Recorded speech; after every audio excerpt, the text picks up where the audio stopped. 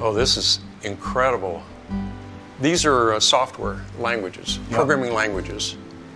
Starting with, with Fortran, but it shows, I guess all the lines are showing the commonality to some extent. I, I know Fortran, uh, I've learned a lot of these, a lot of these languages. This line here from Pascal to Ada, I know both of those. Ada is the language we use to develop that large command and control system in Cheyenne Mountain. Wow. You know what's interesting when you look at this diagram? It superficially appears to be an evolutionary tree. But in fact, what this represents is an enormous, incalculable amount of creative activity by human intelligence. Each of these languages required at least one author, often more than one, right? And all along this pattern, you see human creativity bringing these things into existence.